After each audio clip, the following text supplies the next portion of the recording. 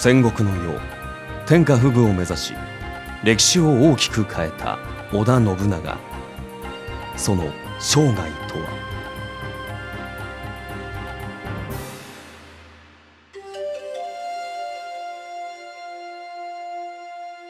不正室の武将織田信長は1534年尾張の国諸畑城城主織田信秀の嫡男として誕生。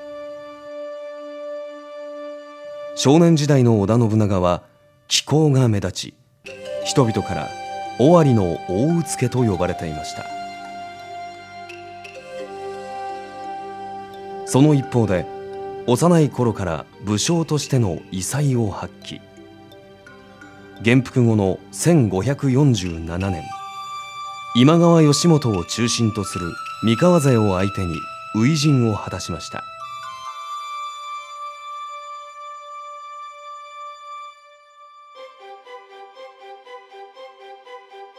しばらくして父信秀と敵対していた美濃の国との和睦が成立。その証として美濃の国領主である斎藤道三の娘濃姫を妻として迎えます。信長はその後も武士としての感性を磨き続け自身の鍛錬はもちろん武器や戦術についての研究を続けいつ戦が起こっても対応できるように備えていました。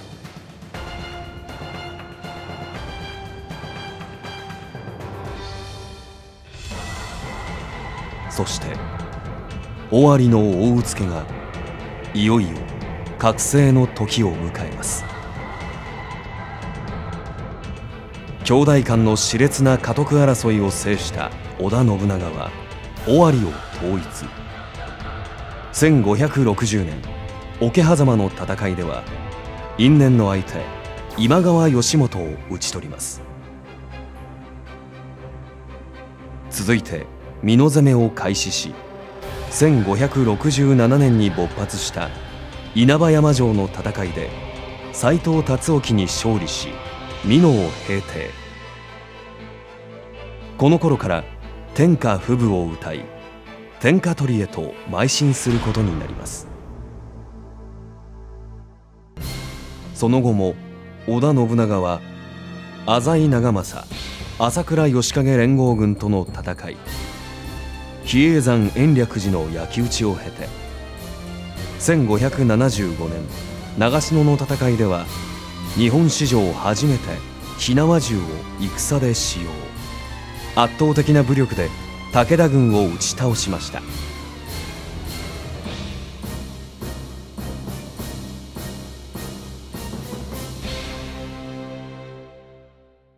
織田信長は朝廷から権大納言右近への大将の官位を賜り事実上の天下人へと上り詰めました。1576年には安土城の築城を開始。しかし天下人となってなお織田信長には試練が続きます。第三次信長包囲網と言われる全国各地の大名らによる侵攻が始まり有力大名が相次いで反旗を翻しました。それに対抗すべく自身の家臣を各地へ派遣し次々と鎮圧。しかし1582年6月法華宗本門流の大本山本能寺に滞在していた織田信長は家臣明智光秀に襲撃されます。そしてこの本能寺の変で信長は自害。天下統一を目前に49歳でその生涯を閉じました。